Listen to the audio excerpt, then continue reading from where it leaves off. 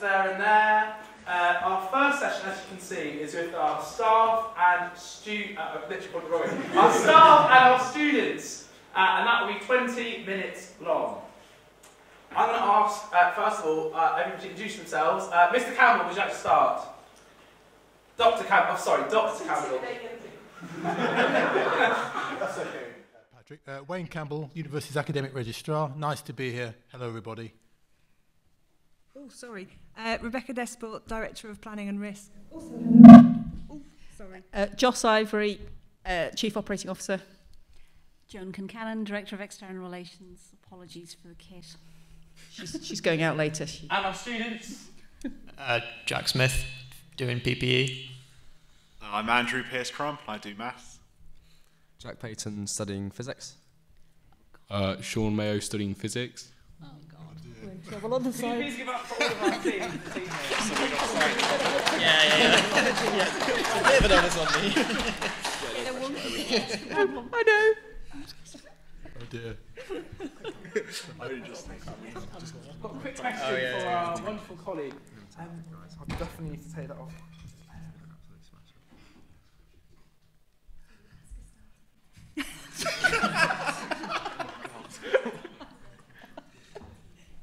And then, um, right, got it.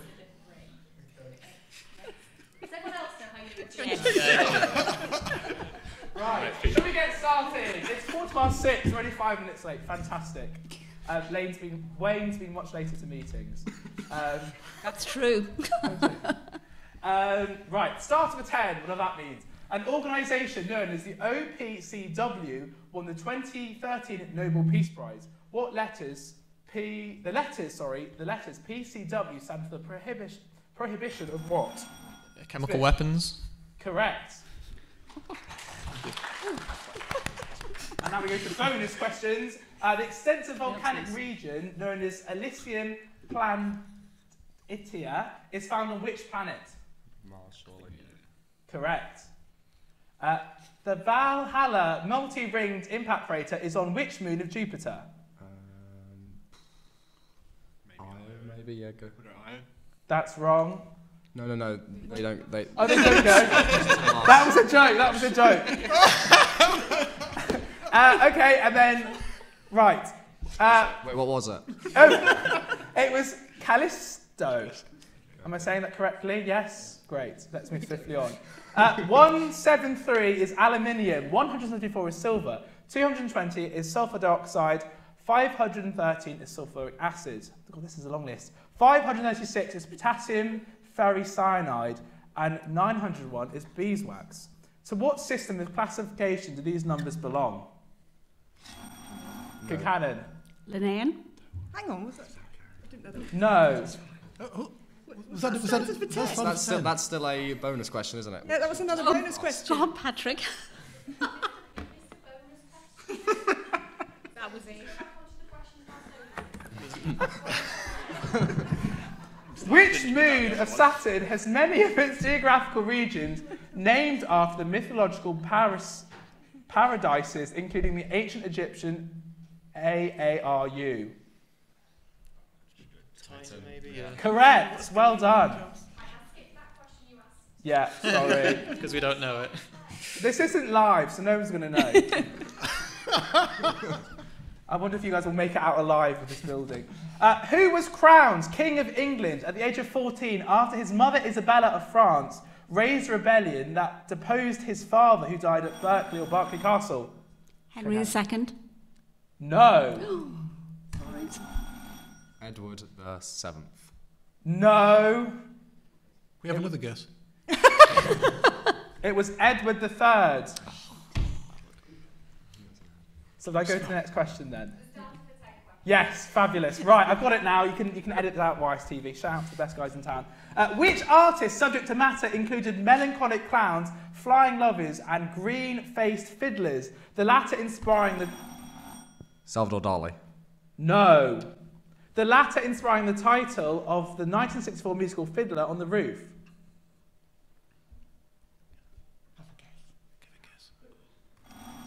Concannon. Magritte. It was Marc Chag- Oh, Chagall. Chagall. Chagall. Chagall, thank you. En français. We have a point for pronouncing it right?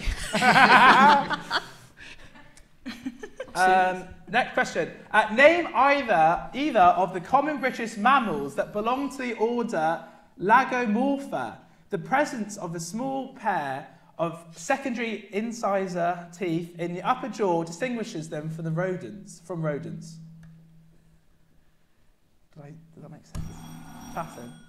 Vole and. Uh, one. Oh, vole. Not quite. Concannon. Ferret. No. You. That's it. it was rabbits or hares. Oh, I was going to say that as well. So very close, very close. Uh, the Pinot Noir grape, lovely grape, uh, variety is especially associated with which French, which major French wine producing region? Of course, Concannon knows this. Of course I do. Burgundy. Correct. Well done, Concannon. Doesn't bode well. Uh, right, on to the bonus questions then. Uh, Queequeg, a Polynesian prince turned whaler who eats both, both eats and shaves with his harpoon, is a character in which 1851 novel?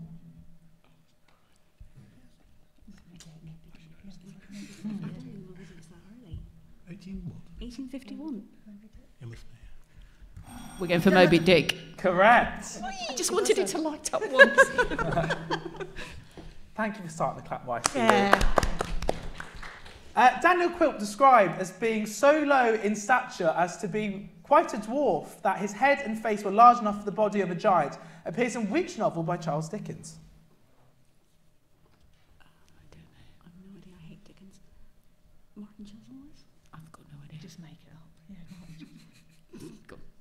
It can't be Martin. You have to answer Chuzzlewit. Martin Chuzzlewit. No, it's the Old Curiosity Shop. And then do I go back to you for the first? I think Yeah, one more bonus. Yes.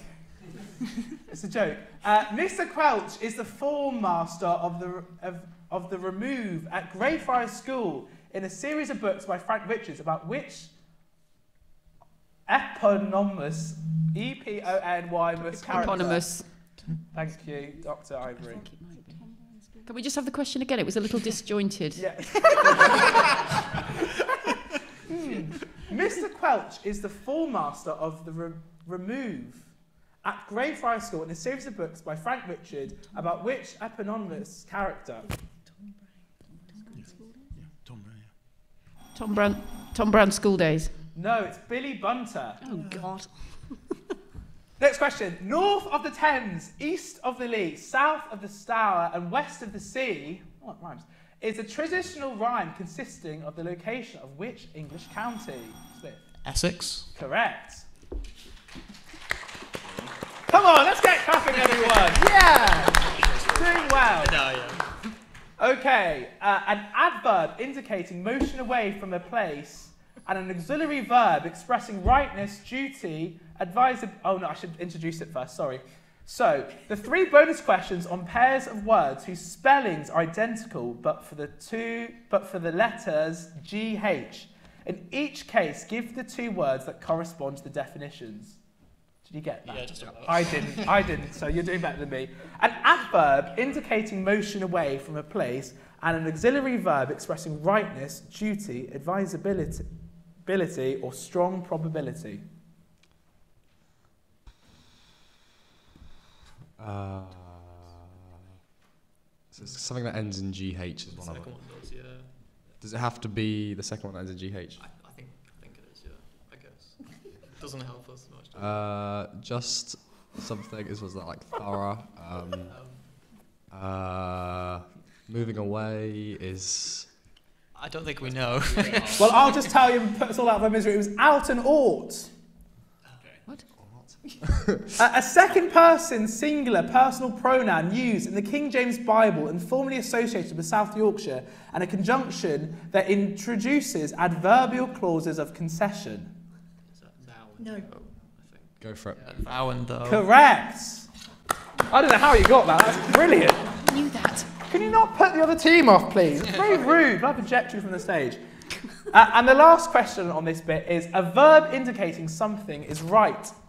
Sorry, a verb indicating something is of the right shape and size and a, v- and a violent struggle or brawl. Oh yeah, that's it. Yeah. That's correct.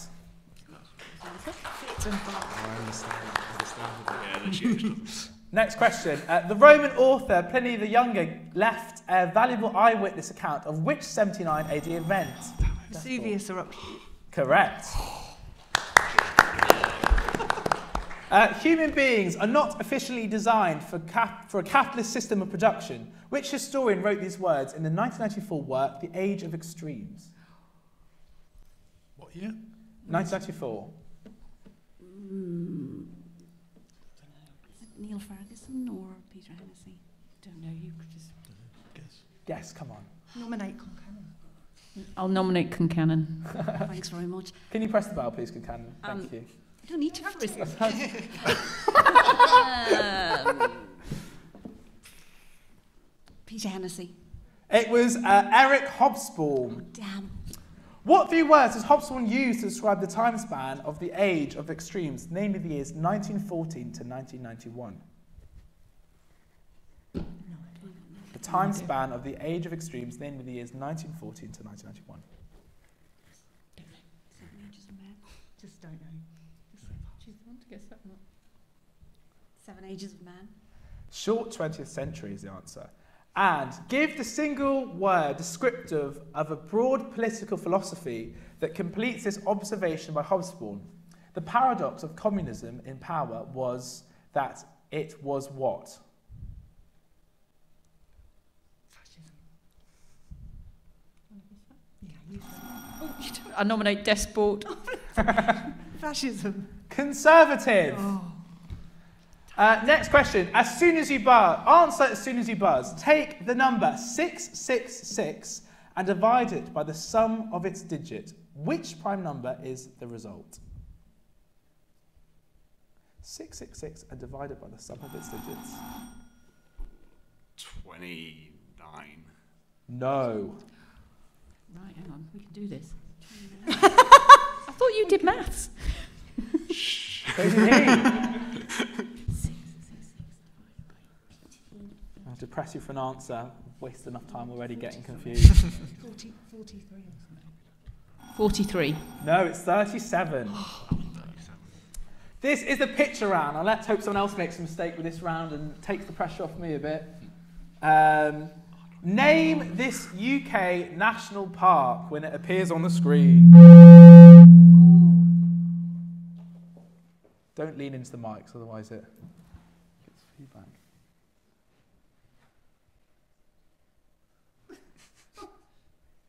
The suspense is real.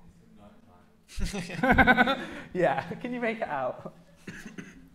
Name this UK national park when it arrives. Yes. North Yorkshire Moors. Are we accepting that? Yeah, you've got it. Yeah, Rievaulx Abbey, North Yorkshire Moors.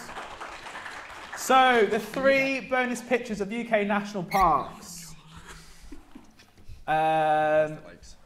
I think that's the Lake District, I think.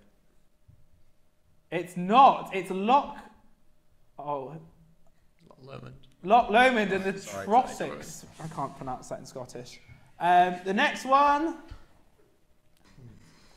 I'm going to climb that on Duke of Edinburgh, actually. Where, where, where was that? Duke of Edinburgh. Sorry? Why did you do Duke of Edinburgh? Just out of interest. Oh.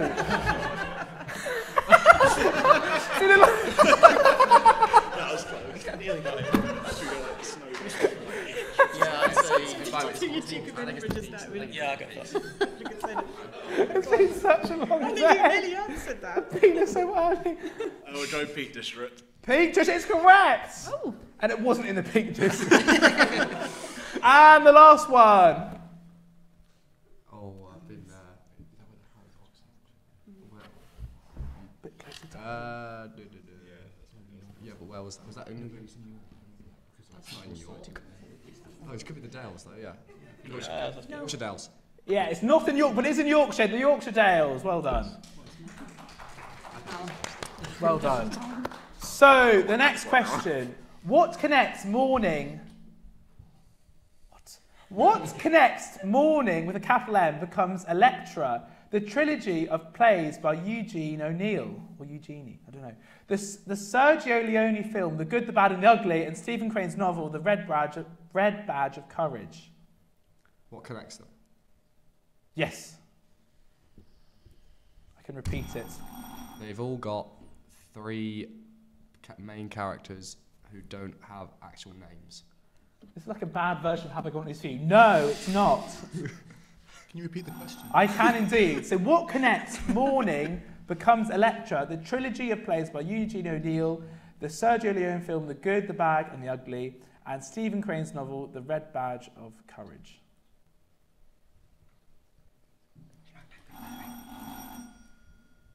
A killing of a parent.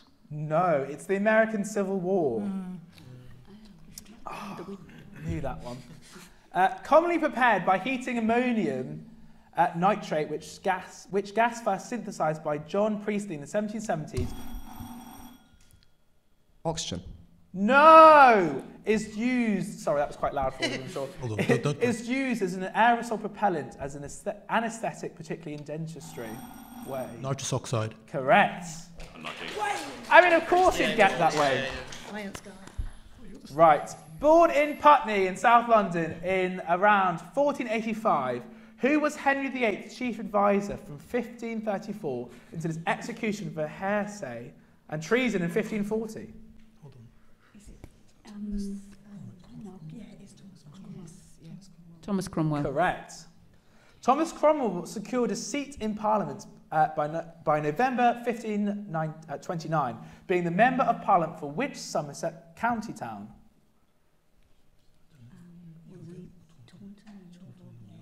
Taunton. Nice place for some holiday. Yes, it was Taunton. Uh, in 1534, Cromwell secured the passage of which act which recognised Henry VIII as, a, as the head of the supreme. Sorry, the, oh shit. The head. this, that makes it easy. The head of the Church of England. What was the first part of the question? Sorry. There's a little bit of disruption in this Sorry, population sorry. in these questions. Rebecca Desport's very loud. Uh, in 1534, Cromwell secured the passage of which act which recognised Henry VIII as the head of the Church of England. So, which act was it?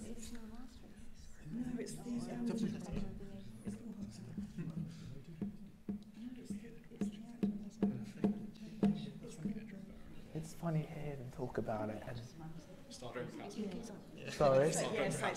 I'm going to push you for, I need to push Okay, you for an I'm answer. handing over to Campbell, Dr. Campbell. Dr. Campbell. Active, sorry, um, Act of Supremacy. Correct. Even though, even though Desport said it was wrong, it wasn't wrong. Well done. Correct. well done. I'll just say we're doing better than we did last year. Well, two years ago. In the 1940s, Erwin Chargaff demonstrated unequivocally the proportional relationship between the four bases of what substance? I can repeat it. Water. No, Say it again. You should know this way. Yeah. In the 1940s, Erwin Chargaff demonstrated unequivocally the proportional relationship between the four bases of what substance? Ice. No, it's DNA. Oh, of course. Oh, yeah, that makes a lot more sense. Uh, answer as soon as you buzz. If A is 1 and B is 2 and C is 3 and so on and so on, what is the sum of the values of the three keys that are the first letter of the keys on the three lines of a standard QWERTY, so Q-W-E-R-T keyboard? The first three lines. That is hard. And I've got a keyboard in front of me and I can't even do it.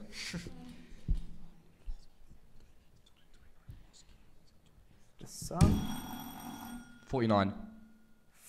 Very close, but no.